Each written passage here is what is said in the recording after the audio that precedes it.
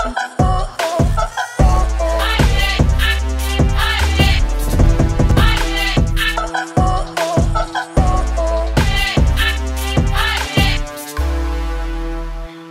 everyone, welcome to this session of the GoDaddy Open 2020 conference. Today we're going to be talking about how to pivot your product or service in two weeks.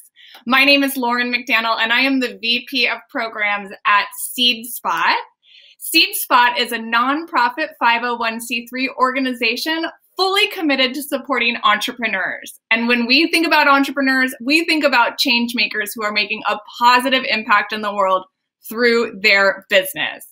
Now, here at SeedSpot, our mission is to educate, accelerate, and invest in impact driven entrepreneurs. And we've had the opportunities to support over 880 alumni over the past eight years. Now, when we look at these alumni, they're doing great. 88% of them are still in business today. And SeedSpot loves supporting diverse founders. And so 53% of the founders that we've worked with are women, 81% are underrepresented founders coming from diverse backgrounds. They're doing incredible things in the market. They've created over 2,300 jobs, raised almost 60 million in capital, and impacted over 8 million lives. When we talk about impact, SeedSpot likes to align our impact metrics with the United Nations Sustainable Development Goals. And we've bucketed those 17 initiatives into these five impact areas where most of our entrepreneurs are operating. We've got entrepreneurs making impact in civic engagement, equality and economic opportunity, education, environmental sustainability, and so important right now, health and wellness for all of the work that our alumni have done. SeedSpots had the honor to be ranked a top five private business accelerator and a most promising social innovation by UBI Global. Again, my name is Lauren McDanell, VP of Programs, and it's my pleasure today to walk you through this hands on workshop where you're going to start building and start pivoting. So let's talk about pivoting toward opportunity we know right now we are in the midst of an upturn with the market, uh, upheaval of a lot of different uh, factors that people have uh, been creating patterns around for the past decades are now being upturned. And this is an opportunity for entrepreneurs to pivot and meet those needs through business. Let's take a look at how some entrepreneurs from around the world have responded when opportunity arose due to uh, struggles or issues that their communities were facing. So let's go down to Brazil first and talk about Ecovec. Now, this is a not this is a, uh, a startup that responded to the Zika virus by providing virus tracing and outbreak prediction. Seems pretty relevant in today's world. Now let's go up to Canada and look at terrestrial energy. This is an uh, on, entrepreneur that responded to climate change by building advanced new nuclear reactors. And let's go down to Trinidad and Tobago and talk about Hello Green, who responded to climate change by creating 100% compostable packaging. These are examples of business solutions responding to needs in their communities. And even in today's current environment, we know that growth is happening. Economists tell us that we're seeing big market gains in markets like e commerce, delivery and distribution services, uh, cleaning and paper sanitary products, pharmaceuticals and medical equipment, the e learning industry, groceries and food products, and at home entertainment and fitness. But I do want to mention that some industries are seeing a downturn. So if you're operating in one of these, you know this struggle well. Brick and mortar storefronts have experienced a big loss over the past six months, as well as the automotive industry, leather products, textiles, and clothing, anything related to the travel industry, as well as entertainment and dining.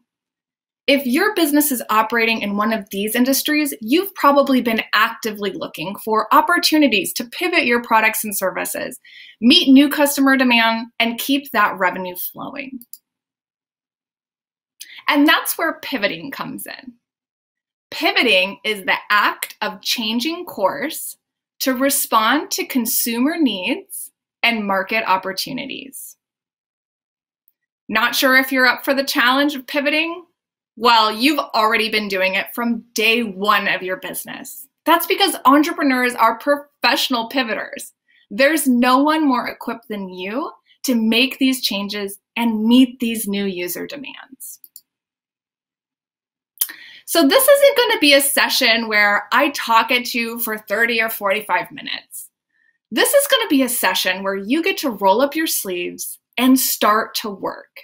And let me tell you, it feels so good to make progress on these pivots, to think about new opportunity and take steps toward it.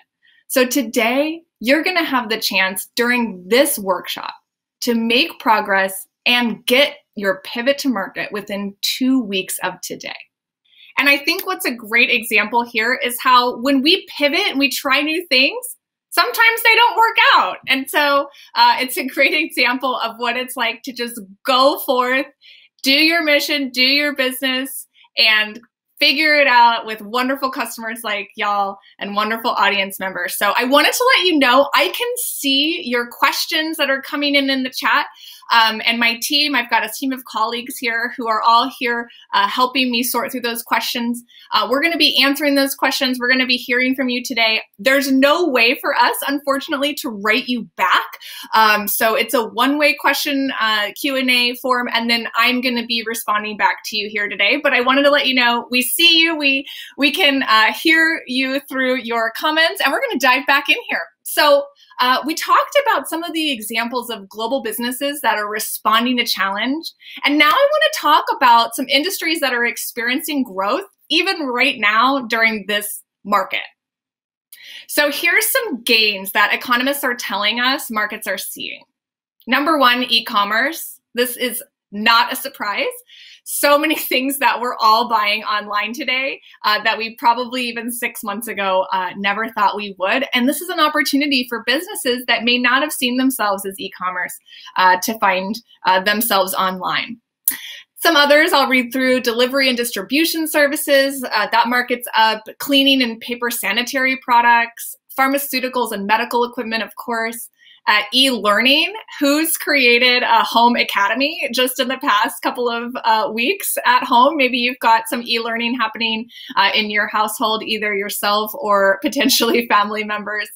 Um, groceries and food products folks are cooking more um, at home. And then they still want to be entertained. They might be stuck at home but at home entertainment and fitness uh, peloton anyone uh, is on the rise as well so I don't want to skip over. We do have some industries that have experienced some big losses. And I know there's folks on the line right now uh, who are part of these industries who are feeling this personally. Um, brick and mortar storefronts, we know that uh, y'all are uh, facing some big losses right now, as well as the automotive industry, leather products, textiles and clothing, uh, travel, entertainment, and dining. And these are just the top uh, declining industries right now. Um, I know there's lots of others that are also um, facing an economic downturn. So if you belong to these or you sell within these, I know you've been thinking recently, how do I pivot? How do I respond? And I'm going to go through a workshop with you today where you are going to start to be able to do that. Pivoting is the act of changing course to respond to consumer needs and market opportunities. Gosh, do we have some consumer needs and market opportunities right now? And you are the perfect people for the job. Entrepreneurs are professional pivoters. You've been doing it from day one or day zero or before of your business. And there's no one more equipped than you to actually take this project on. So thank you for being an entrepreneur. Let's talk about what we have to work with. So you have values as an organization that we're going to today called assets.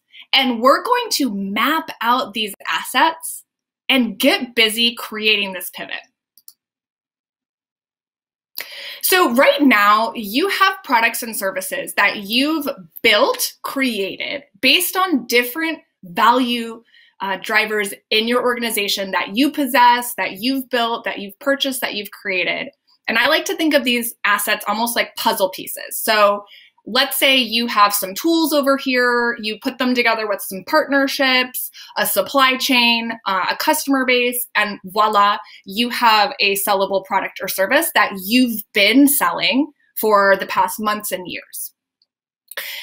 Now we've got a new market, and that configuration of those assets may not be working right now, but you still have those components or those puzzle pieces. And what is really a, a, quick way to think about getting up in market with your pivot is to take apart those assets and think about your tools separately from your equipment, separately from your partnerships, your supply chain, and think how, how might I rearrange this? So I've got a supply chain. How might I think about that differently and put that together maybe with some other expertise that I have?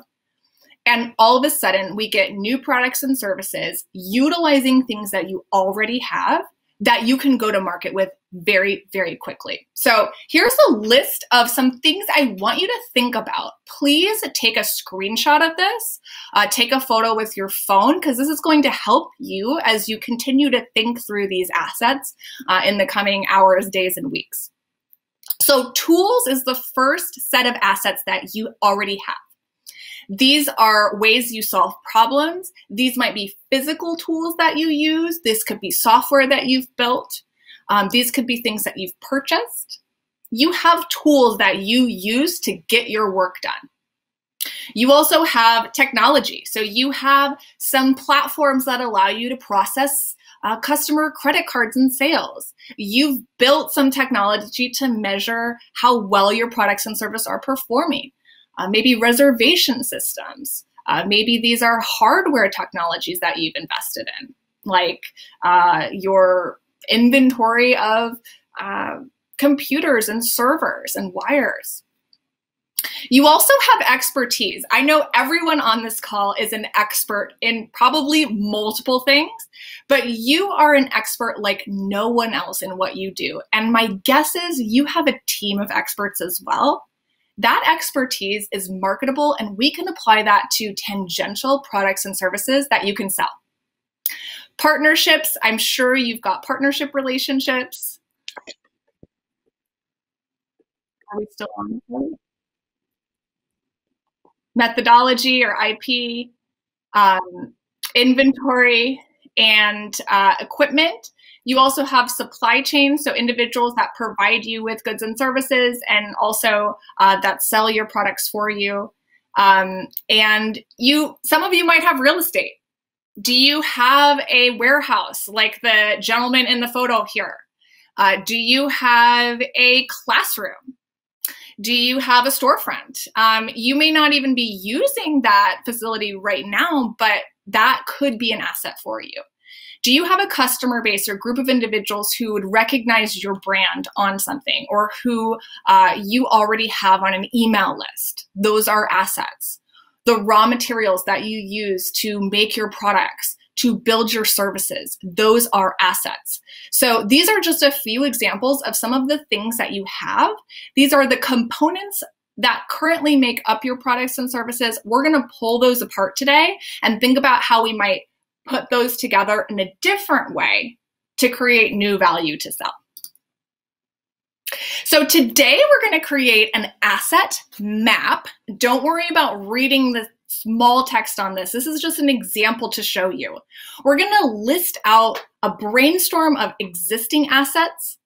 In the middle column, you're going to come up with some ideas of things that you can create from the assets that you have.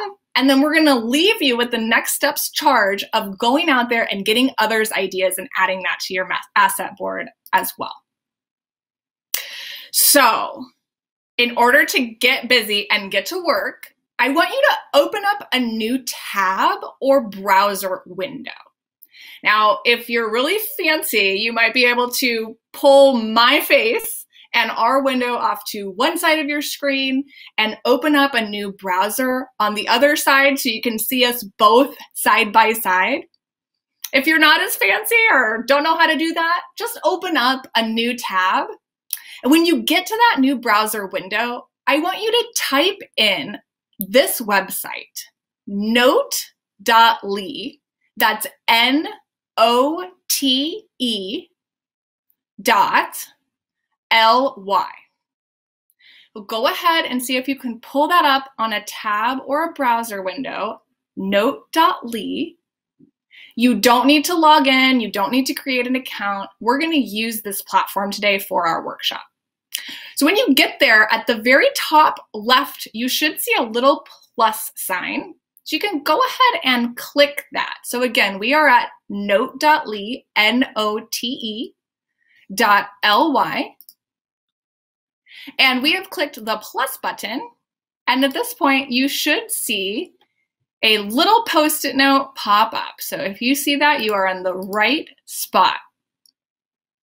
Now, what I want you to do is in that post-it note, type in one asset, any asset that comes to mind from what we talked about previous. So this might be a tool, this might be a customer base, this could be a partnership. I've put together an example. So if you're able to see my screen, I've put together an example here for you of a textile manufacturer. And they've created a different post-it note for each asset. And on those post-its, one asset that they had was their real estate, so their warehouse. So they typed that in and they moved that post-it note to the left side of their board. They also have some raw materials, so they have fabric, they have equipment and sewing machines, um, they have seamster or seamstress talent. That's their expertise that they've added on there. So they've added as many assets as they can think about. Now, of course, currently they're using these assets to create the textiles that they currently sell. But we're going to talk about some new sellable opportunities that they can make utilizing these building blocks or these puzzle pieces. So take a minute, add in a couple of assets, and if you can and you would like to share, I'm looking here at the question board. If you would like to pop in an asset maybe that comes to mind for your business, share it with us on the Q&A and we will go ahead and read it out. All right. So we've got people who are putting together their asset board. We are on note.ly. And I'm just checking here to see if anybody has put in their business asset. All right. It looks like we have someone who said their vehicles, their business vehicles. Absolutely, that's an asset. Uh, you can use that for delivery, you can use that for marketing. So I love that you've added that as an asset. Um, it looks like someone here has said curriculum is an asset, so that's absolutely right. That is your expertise, your intellectual property. Um, so that's a great example of an asset. All right, so we've got on the left side of our board at least hopefully a handful of assets.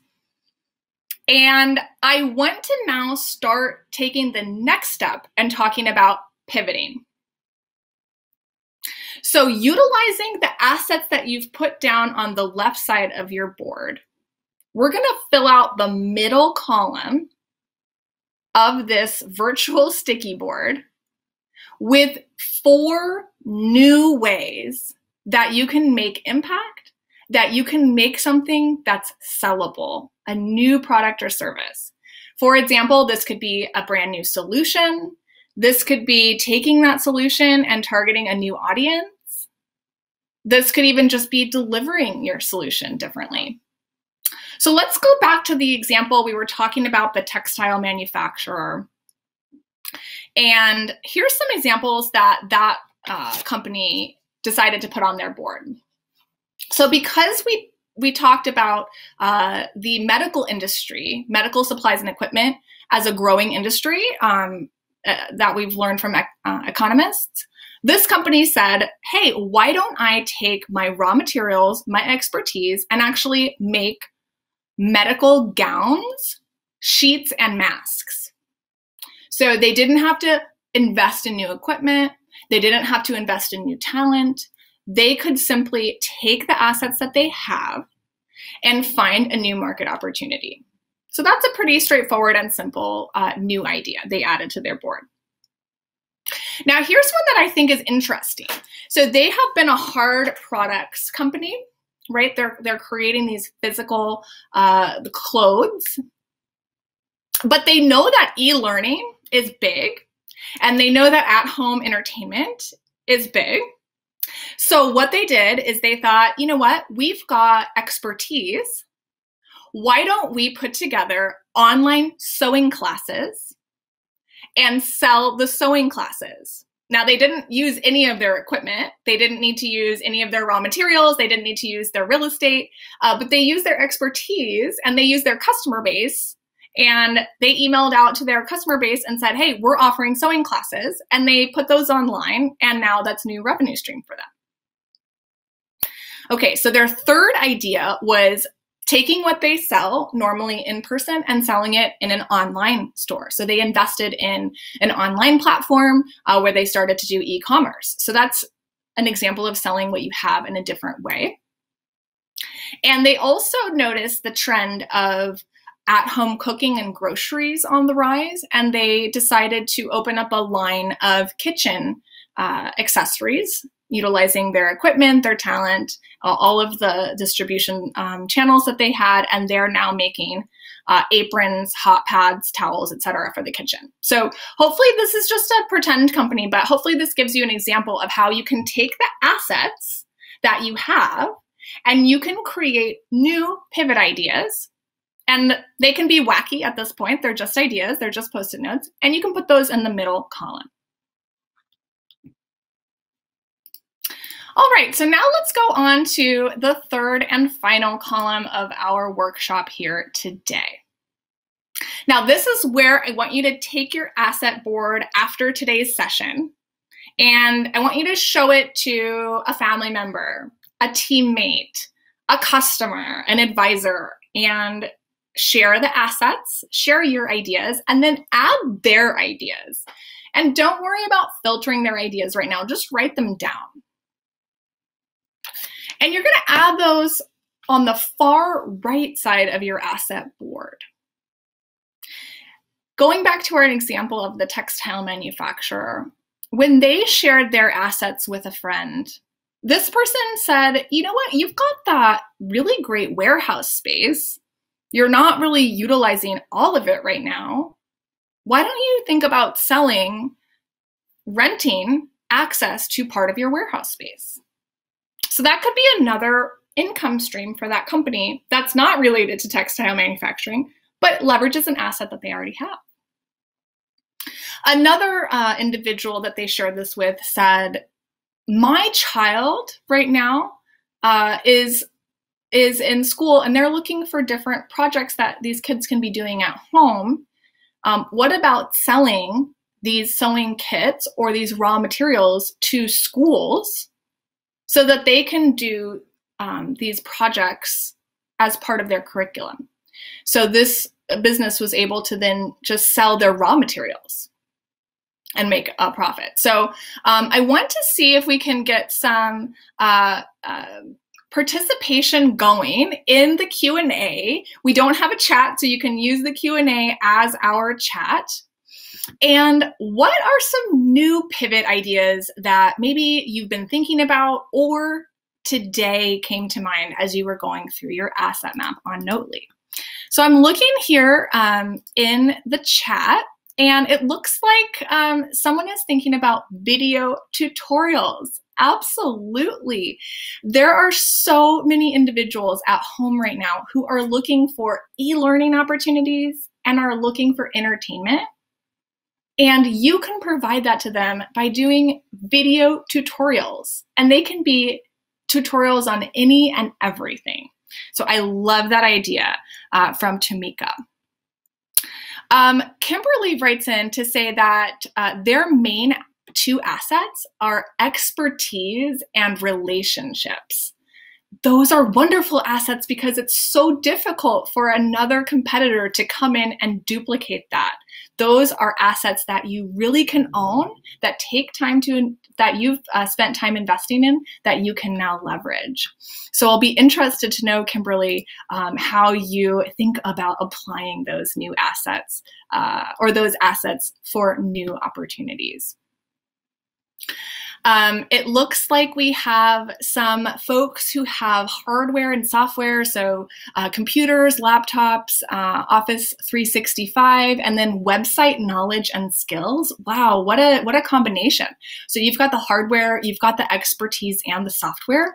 Um, there's so many individuals like uh, Tamika who said that they were going to start doing video tutorials who may need some expertise when it comes to web support and getting those uh, video tutorials up there. So, um, very good ideas. So, this asset board is yours. It's really a start for you to think about going to market in two weeks. Um, and this is actually curriculum that SeedSpot uses with our entrepreneurs every single day. Um, this workshop was excerpted from one of our longer courses, and I know this process works. It absolutely works. It helps you get organized. And we're going to talk now about a few next steps that I want to recommend as you take this and you go forth uh, with your pivot. By the way, if you want to save your Notely board, right up on the upper right corner, you can create an account. You can also just take a screenshot if you don't want to create another account right now and you're feeling good about your asset board. You can just take a screenshot um, and you know have that for your records. Okay, so now let's take action. We've got a lot of great ideas, but ideas are kind of a dime a dozen. So what do we do now? Well, first, we want to go back to our asset map, make sure we've got everything captured, and think what kind of effort, development, investment, and time is it going to take me to go from what I'm selling now to one of my new ideas? For some of the examples we looked at for the textile manufacturer, it was as simple as taking what I already sell and getting it up online. But for other things like the sewing courses that we talked about, those classes, they may need to invest in a new website, a learning management system. They may need to write a script, uh, come up with those projects. And so while you know those things may not be huge monetary investments, those are time investments. And so it's important to, to go through each of your new ideas and say, really realistically, how do I get from where I am now to a sellable product or service? Once you have those ideas, the sense of how much effort is going to be required, I like to use what's called a quadrant map. And that's where you can just do this on post it notes, on a big sticky pad, or your kitchen table.